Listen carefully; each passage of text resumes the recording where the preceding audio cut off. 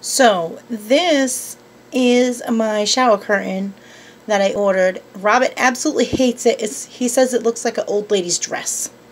So I bought something else.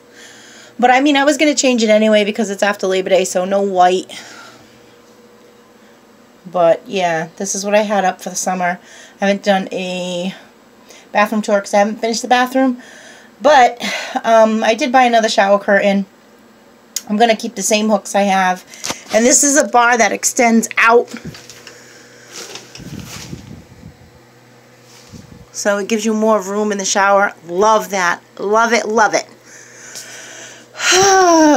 yes. So that's what it looks like right now. But I'm going to change it. I already bought the shower curtain. So that will be in an upcoming haul.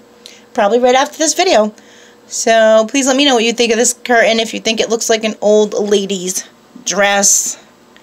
It goes all the way to the floor. So it's a good length. But yeah. So that's what that looks like. Thank you for watching. Please let me know what you think. Ciao.